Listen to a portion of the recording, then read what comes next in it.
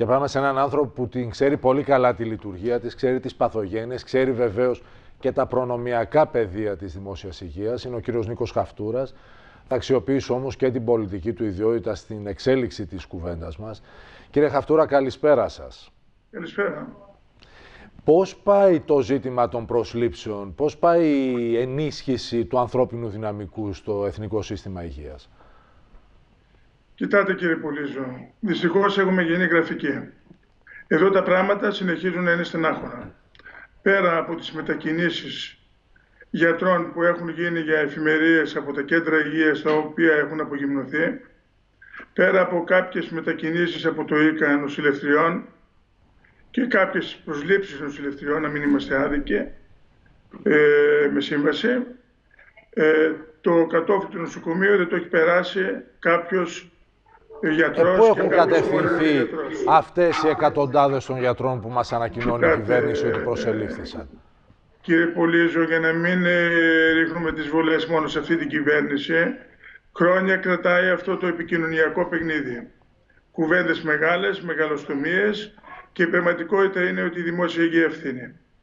Σας θέλω να σας πω και είναι η πραγματικότητα αυτή ότι από τις 14 θέσεις που πραγματικότητα είναι όχι 14, 34 έπρεπε να έχουν έρθει ναι. τώρα και με τη συγκυρία της πανδημίας μόνιμες θέσεις, γιατί βρεθήκαμε σε μια κατάσταση των μονάδων εντατικής θεραπείας, μια τραγική κατάσταση και ευτυχώς ο Θεός έβαλε το χέρι του και η πανδημία μέχρι στιγμής δεν μας έχει χτυπήσει δυνατά. Ο Θεός βέβαια μαζί και με τα μέτρα που τηρήσαμε, γιατί πρέπει να το πούμε και να το ξαναπούμε, ότι τα μέτρα από την κυβέρνηση, ε, τα απαγορευτικά ήταν καλά. Δηλαδή η πρόληψη που πήρε η κυβέρνηση ήταν καλή. Αλλά από εκεί και πέρα οι δομές υγείας είναι πραγματικά ανοχήρωτες, η κατάσταση συνεχίζει να είναι άσχημη και ευτυχώς που μέχρι στιγμής δεν έχει χτυπήσει η πανδημία. Δεν έχει περάσει ένας μόνιμος γιατρός, ούτε από τις 14 θέσεις αυτές δεν έχει έρθει ένας γιατρός, δεν έχουν προχωρήσει οι διαδικασίες, έχει γίνει προκήρυξη, αλλά οι διαδικασίες συνεχίζουν να είναι εργόδες. Κύριε Χαφτούρα, θα κατέρε το δημόσιο σύστημα υγείας αν είχαμε πανδημία και στη χώρα μας; Πιστεύω δεν θα τα κατάφερνε. Δεν θα τα κατάφερνε γιατί μιλάμε για χαοτική κατάσταση, μιλάμε για κλινικές με ένα-δυο γιατρούς από Άρα να προσευχόμαστε και να πιστεύουμε ότι τα πράγματα θα παραμείνουν όπως έχουν σήμερα, ότι δεν θα γίνουν χειρότερα. Ε, θέλουμε να πιστεύουμε αυτό και είμαστε αισιόδοξοι, γι' αυτό φωνάζουμε. Δεν φωνάζουμε για να φωνάζουμε. Όχι, ε, εννοώ ότι μας λέτε ότι είναι περιορισμένες οι αντοχές του ΕΣΥ θα κρασάρει το σύστημα αν δεχθεί μεγαλύτερο όγκο. Και βέβαια. Αυτό είναι μια δυστυχώς δυσάρεστη φυσιολογική εξέλιξη. Μάλιστα. Όταν μιλούσαμε πριν, μέχρι πριν λίγο για 550 θέσεις κλίνες σε εντατική, όταν μιλάμε για πολύ λίγους εντατικολόγους... Μα μας λένε ότι είμαστε στις 800 και πλέον σήμερα. Τώρα ναι, μαζί με τις ιδιωτικές. Ναι. Με τις ιδιωτικές όπου αντί για 800 ευρώ θα δίνουν 1600 ευρώ. Αυτή είναι, είναι η αλήθεια. Δυστυχώς, κύριε Πολίζο, τα έχω πει πολλές φορές. Όχι μόνο η πρόθεση της κυβέρνησης, στην κυβέρνηση, γιατί έχουμε τους μεν και τους δεν. Η κυβέρνηση έχει και μια φιλοσοφία ιδιωτικής πρωτοβουλίας, είναι και στη φιλοσοφία της η ιδιωτικοποίηση. Αλλά και οι άλλοι που δεν είναι στη φιλοσοφία της, στο ίδιο, το ίδιο δρόμο ακολουθούσε. Το είχα πει και στον Υπουργό. Δεν κατήργησε τον μπλοκάκι, το μπλοκάκι δεν το κατήργησε. Και έρχονται τώρα και έρχεται και αυτή η κυβέρνηση που αποκαλεί συνεχώς ήρωες τους υγειονομικούς, από τη μία τους αποκαλεί ήρωες και αντί να κάνει μόνιμες προσλήψεις για να βοηθήσει την, ε, το υγειονομικό στερέωμα για να αντιμετωπίσουμε την πανδημία, ανακοινώνει, για, μιλάει για ιδιωτικές κλίνες, μιλάει για ε, γιατρούς ιδιώτες που θα εισέρθουν με μπλοκάκι Δηλαδή υγεία, δημόσια υγεία με μπλοκάκι. Σταθείτε να δούμε όταν θα βγούμε από αυτή την περιπέτεια αν θα παραμείνει αυτός ο σχεδιασμός ή θα αποσυρθεί; Πιστεύω ότι πρέπει να προβληματιστεί η κυβέρνηση και πρέπει να αλλάξει η ρότα. Και πρέπει να σταματήσει αυτός ο σχεδιασμός. Γιατί όλα, οι πολίτες, όλοι μας, θέλουμε τη δημόσια υγεία. Και τώρα για δημόσια υγεία μιλάμε. Δίχως δημόσια υγεία δεν μπορεί να σταθεί ο πολίτης ο οποίος χρόνια πληρώνει ασφάλεια, χρόνια πληρώνει εισφορές, την έχει ανάγκη. Αν είναι, να το πει ξεκάθαρα, να ξέρει τι θα κάνει και ο καθένας.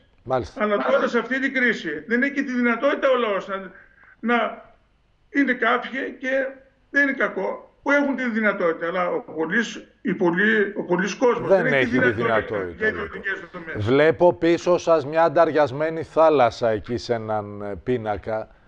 Ε, φαντάζομαι δεν επιλέξατε τυχαία να σταθείτε μπροστά από αυτόν τον πίνακα, από αυτή την ανταριασμένη θάλασσα. Όχι, όχι κύριε Πολύζο.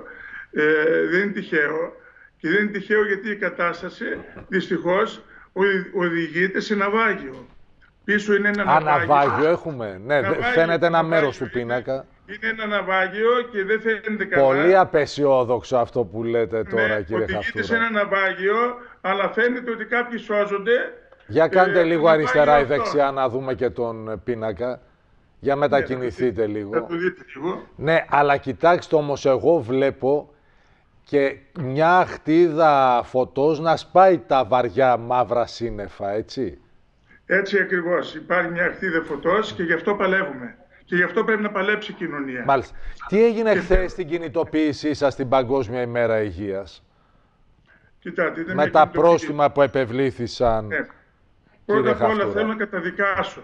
Θέλω να καταδικάσω αυτές τις πρακτικές που είναι πρακτικές μπαμπούλα που θυμίζουν άλλες εποχές το αστυνομικρατούμενο κράτος. Και εγώ δεν θέλω μόνο τώρα βολές για αυτή την κυβέρνηση, γιατί είχαμε τέτοια φαινόμενα και με την προηγούμενη. Αλλά το αστυνομικρατούμενο κράτος δεν θα περάσει. Και θέλω να πω ότι το ξεπούλημα της, στο ξεπούλημα της υγείας θα σταθούμε όρθιοι και θα αντισταθούμε. Δεν θα περάσει καμιά τρομοκρατία. Καταδικάζουμε αυτά τα φαινόμενα. Η κινητοποίηση. Εσείς βλέπετε ότι κάποιοι θα εκμεταλλευτούν... Ήταν ανακοινωμένοι ήταν γνωστοποιημένη η κινητοποίηση. Ναι. Είχε γνωστοποιηθεί στην κυβέρνηση εδώ και 10 μέρες. Εμείς στηρούσαμε τους κανόνες ασφάλειας, τους υγειονομικούς Τις αποστάσεις λέτε.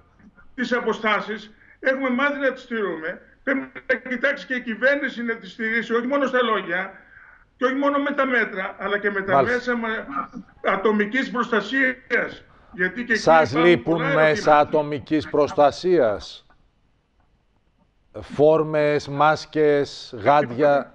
Και όχι μόνο αυτό. Από ό,τι μου έλεγε και ο πρόεδρος από ό,τι μου έλεγε και ο πρόεδρος... Ελάτε για να κλείσουμε με αυτό, κύριε Χαφτούρα, ναι. Ο κύριος Παπα-Νικολάου μου έλεγε ότι και οι παρτίδες από μάσκες, ε, υπήρξαν παρτίδες ε, από μάσκες, οι οποίες ήταν προβληματικές.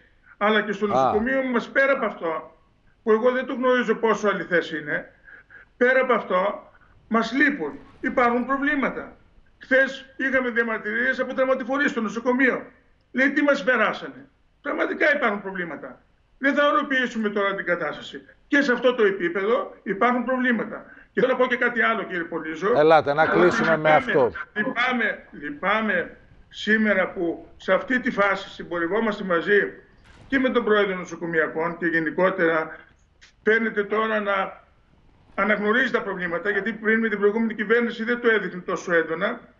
Λυπάμαι που σήμερα σε ραδιοφωνική εκπομπή 12 με 1 στο κύριο Αναστασίου είπε ότι ήταν ατυχή η συγκυρία να δοθούν τα πρόστιμα από την αστυνομία ε, στην, στους συνδικαλιστές του ΠΑΜ. Άρα συμφωνείτε μαζί του. Ή, ή εσείς διαφωνείτε επειδή ήταν μια ήπια διατύπωση; Ήταν ήπια διατύπωση. Τι έτυχε η συγκυρία και η αστυνομία έκανε τη δουλειά της. Βέβαια δεν φταίνει οι εργαζόμενοι αστυνομικοί φταίνουν οι αποφάσεις. Οι αποφάσεις που διασπείρουν τρομοκρατία Μάλιστα. και θέλουν ένα συνομοκρατούμενο κράτος. Αλλά Ευχαριστούμε κύριε Χαφτούρα, εδώ θα είμαστε και θα τα λέμε.